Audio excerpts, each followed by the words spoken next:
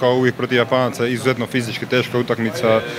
Taktički su stvarno oni na jednoj vrhunskoj razini, uz to plivaju non stop od prve do zadnje minute, tako da zaista je bila iscrpljujuća fizička utakmica i, i, mentalno, kažem, rekao bi isto, treba se koncentrirati od početka do kraja, jer oni iskorištavaju stvarno najmanji prostor za, za, za napas gol, za, za po golu. Tako da lijepo smo odigrali od početka do kraja, malo smo primili puno golova, ali nema veze, to je iza nas, sad se okrećemo prema osmini finala. Stvarno smo naporno trenirali cijelo ljeto, svi smo, ja mislim, u jednoj zavidnoj fizičkoj formi od prvog do zadnjeg, tako da uz jedan lagani trening isplivavanja ćemo se i jedan dan odmora ćemo se brzo vratiti na 100% i biti spremni za, za osminu finala.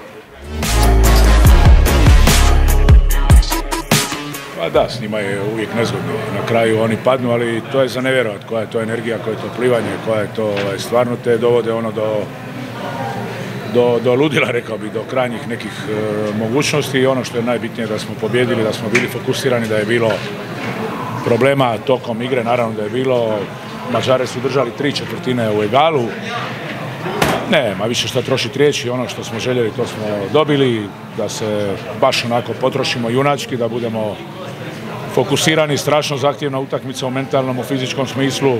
Ništa nam ona nije nosila. U slučaju poraza ovdje mi znamo da bi išli ovaj na, na neki drugi put. E, ovako sad idemo na Crnu Goru i to je to. A dobro, ako ih Iko zna, ja ih znam. Bio sam dole trener. Poštujem jako tu mladu ekipu, poštujem svog kolegu Gojkovića, mog bivšeg kapetana.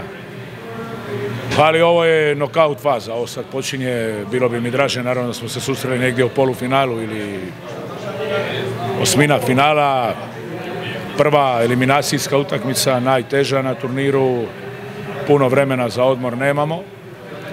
Čim prije se pripremiti, resetirati.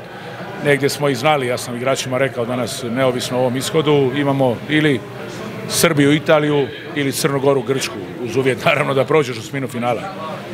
Odabrali smo ovaj put, onako sportski kao što treba igrati uvijek do kraja.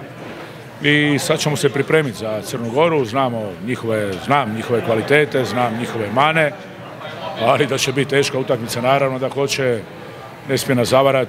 Ja sam gledao danas tu utakmicu Crna Gora Srbija, oni su bili toliko dominantni u dvije i po četvrtine da je nevjerovatan način na koji su izgubili utakmicu. Meni nevjerovatan, ali to dodatno mi daje oprez, e, imaju oni svojih aduta, ali pokazali su da imaju mana, ja se nadam da ćemo te mane iskoristiti.